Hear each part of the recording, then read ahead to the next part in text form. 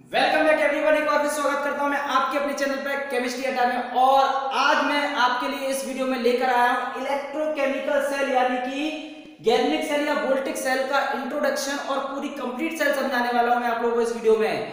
तो आइए स्टार्ट करते हैं इस वीडियो में हम इलेक्ट्रोकेमिकल सेल के बारे में। कंप्लीट डिटेल में पढ़ने वाले हैं कि how is the electrochemical cell represented how is the chemical cell working हम सारी चीज़ें सीखेंगे इस वीडियो में। चलिए स्टार्ट करते हैं। सबसे पहले जान लेते हैं इलेक्ट्रोकेमिकल सेल क्या होता है। देखिए electrochemical cell is what electrochemical cell नाम ध्यान देना। इलेक्ट्रोकेमिकल यानी कि एक ऐसा सेल जो इलेक्ट्रिकल एनर्जी और केमिकल एनर्जी के बीच में रिलेशन रखता है। ध्यान देना इलेक्ट्रोकेमिकल उल्टा चलना है। कि the device which convert chemical energy into electrical energy it is called electrochemical cell समझ गए होंगे आप लोग रटिएगा नहीं?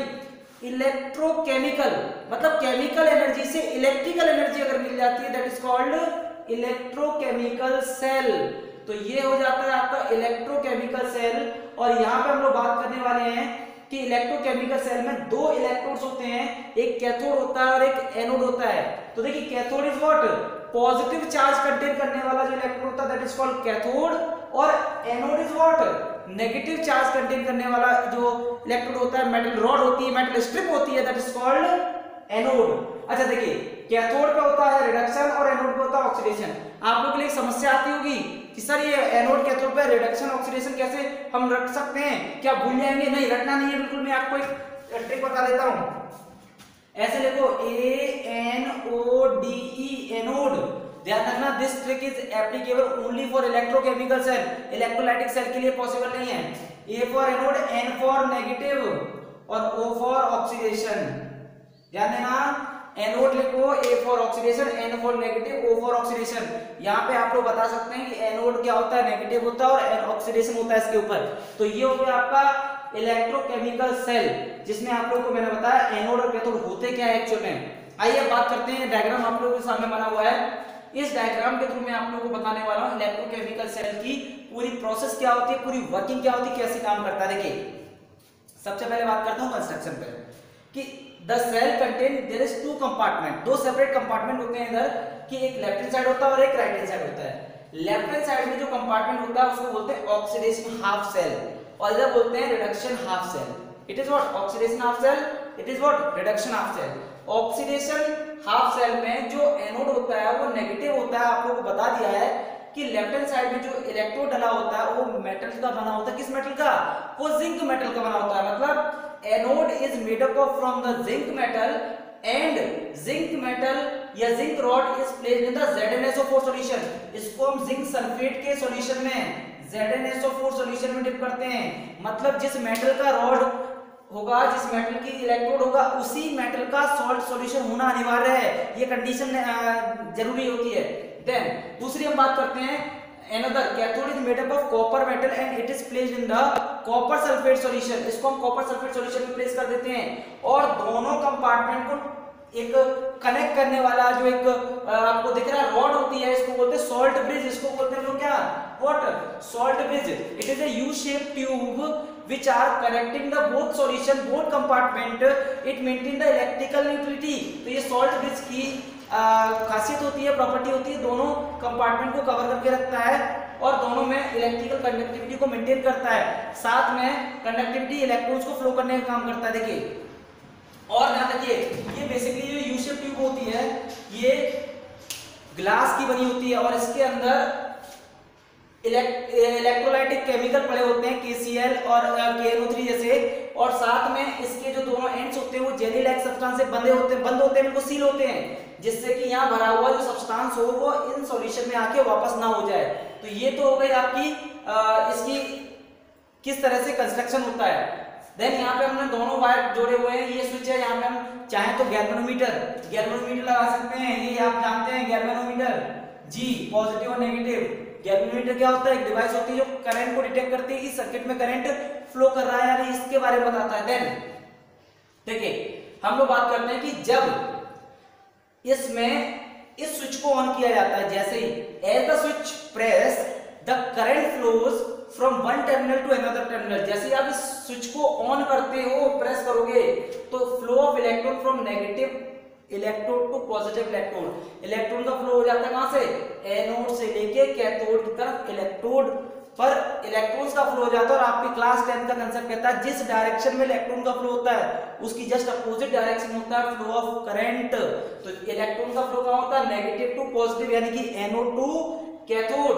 और करंट का फ्लो हो जाता है कैथोड टू एनोड। ठीक है, ये तो हो गई इनकी डायरेक्शन अब देखिए, इसमें हम लोग बात करने वाले हैं कि इनके ऑक्सीडेशन या का होता है ऑक्सीडेशन तो ऑक्सीडेशन की हम लोग इक्वेशन को कैसे लिखते हैं? जिंक मेटल क्या करता है? लॉस ऑफ़ इलेक्ट्रॉन करता है तो loss of electron according to definition class 10 क्या कहता है loss of electron occurs it is what oxidation तो zinc loses its two electron और वो जो दो इलेक्ट्रॉन लूज करता है, वो यहाँ पे मूव करते हैं। देन क्या करता है? दो इलेक्ट्रॉन जो लूज किए हैं, इसी तरह से रिडक्शन क्या होता है? गेनिंग ऑफ़ इलेक्ट्रॉन तो इसकी इक्वेशन कैसे लिखते हैं? Copper two positive plus two electron gives copper solid यानी कि गेन ऑफ़ इलेक्ट्रॉन यहाँ होता है रिडक्शन तो ऑक्सीडेशन और रिडक्शन की आप लोग इक्वेशन को आसानी से लिख सकते हैं। अब देखिए बात करते हैं ऑक्सीडेशन हाफ़ सेल और रिडक्शन हाफ़ सेल के बीच में आप लोग इनकी रिप्रेजेंटेशन इलेक्ट्रोड की कैसे करते हो सेल को आप कैसे कंप्लीट करते हैं सेल की रिप्रेजेंटेशन कैसे करते हैं? देखिए एनोड की रिप्रेजेंटेशन लॉस ऑफ़ इलेक्ट्रॉन यहाँ लिखा है गेन ऑफ़ इलेक्ट्रॉन दोनों को हमने कैंसिल किया, दो इलेक्ट्रॉन को। या बनता है ओवरऑल सेलेक्शन ये बन गया ओवरऑल सेलेक्शन साथ में तो सेलेक्शन हो गया, हम रिप्रेजेंटेशन कैसे करते हैं इलेक्ट्रोड को? हर एक इलेक्ट्रोड को रिप्रेजेंट कैसे किया जाता है? Z N oblique Z N S four मतलब metal is place in its salt solution यानी zinc oblique Z N two positive मतलब जिस मेटल की बात करूँगा, जिस मेटल का इलेक्ट्रोड लेके चलूँगा वो अपने ही सॉल्ट सॉल्यूशन में डिप करके रखा जाएगा। ऐसे कॉपर को प्लेस किया जाता है कॉपर सल्फेट में या copper is dipped in Cu2 positive ऐसे ही सेल रिप्रेजेंट कैसे किया जाता है? हमेशा ध्यान रखना, चाहे वो आप डायग्राम बनाओ या फिर सेल रिप्रेजेंट करो, हमेशा लेफ़्ट हैंड साइड में क्या रखा जाता है? एनोड रखा जाता है। और राइट हैंड साइड में क्या रखा जाता है? कैथोड देखिए Zn oblique ZnSO4 zinc is placed in ZnSO4 solution whose concentration is C1 whereas copper sulfate यानी copper is placed in copper sulfate solution whose concentration is C2 this is the representation of cell how to represent the cell in the paper in this way then अब इसके बारे में concept बात कर लेते हैं कि जैसे ही आप वर्किंग कैसे करता है जैसे आप दोनों वायर को जोड़ते हो स्विच ऑन करते हो तो इलेक्ट्रॉन का फ्लो लेफ़्ट राइट होता है और क्या होता है राइट हैंड साइड से लेफ़्ट हैंड साइड की तरफ़, यानी कि कैथोड से एनोड की तरफ़ फ्लो ऑफ़ करंट हो जाता है। तो यहाँ पर आप लोग का जो इलेक्ट्रॉन्स यहाँ से इधर चले जाते हैं, यहाँ पर आप लोग के इलेक्ट्रॉन्स डिपॉजिट होना शुरू हो जाते हैं देन इधर से ये इलेक्ट्रॉन फिर वापस होके सेल में आ जाते हैं। इस तरह से यहाँ कंडक्टिविटी पॉसिबल होती है। और आप लोग को मैं एक और वीडियो में इनके परफेक्ट अलग अलग एनोड और कैथोड की वर्किंग में आप लोगों को अलग से बताने वाला हूँ। नहीं तो ये वीडियो बहुत लंबा हो जाएगा। ये जनरली हम लोग एक्सप्लेनेशन कर रहे हैं केवल क्या होती है इलेक्ट्रोकेमिकल सेल इनके लिए वीडियो में आप लोग को अलग लेके आऊँगा। आप लोग टॉपिक नोट कर लीजिएगा। Origin of electrode potential at anode या origin of electrode potential at cathode cathode और एनोड पर ऑरिजिन कैसे होता है? आगे कहाँ से आता है पोटेंशियल इसके लिए वीडियो में आपके लिए नया लाने वाला हूँ। वेट करते रहिए थोड़ा सा मैं इसके लिए वीडियो आपको नया देने वाला हूँ। चलिए, एक चीज़ और बता देते हैं यहाँ पर कि when the concentration of zinc ion यहाँ एक कंसेप्ट मैंने लिखा हुआ है कि जब जिंक आयन मतलब एनोड की कंसंट्रेशन आप लोग क्या करते हैं? और कॉपर आयन की कंसंट्रेशन वन मोलर होती है। मतलब इसकी कंसंट्रेशन जिंक आयन की, अगर कंसंट्रेशन और कॉपर आयन की कंसंट्रेशन अगर दोनों की कंसंट्रेशन वन एम के बराबर होता है तो इस सेल का वन मोलर मोलरिटी वन हो तो इस सेल का जो आउटपुट होगा, वो कितना होगा? 1.1 वोल्ट ये इसका आउटपुट होगा। If the concentration of the copper ion increases अगर कॉपर आयन की कंसंट्रेशन सॉल्यूशन की बढ़ती जाती है and those of zinc ion decreases तो ईएमएफ ऑफ़ द सेल क्या होगा? इंक्रीज होगा। ध्यान देना, अगर हमारी कॉपर आयन की कंसंट्रेशन क्या हो जाए? यहाँ पर बढ़ती जाए और जिंक आयन की कंसंट्रेशन कम हो जाए तो इस सेल का ईएमएफ क्या होगा?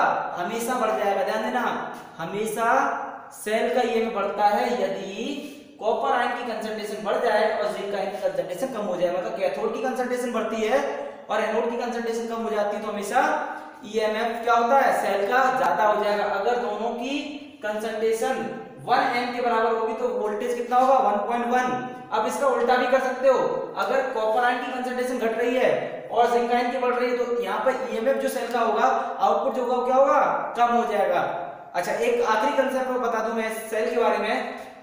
यदि सेल का आउटपुट 1.1 वोल्ट है, कितना? 1.1 वोल्ट।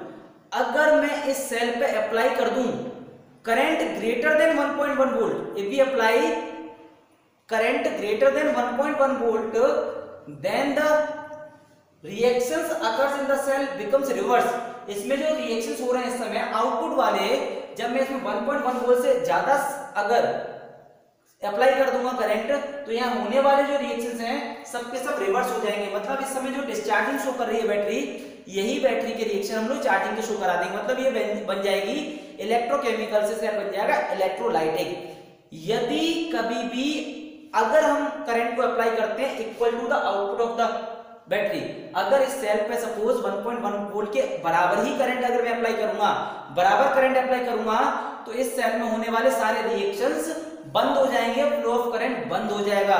तो ये थी हमारी complete explanation of the galvanic cell या वोल्टिक सेल का मैंने आपको कंप्लीट एक्सप्लेनेशन दिया।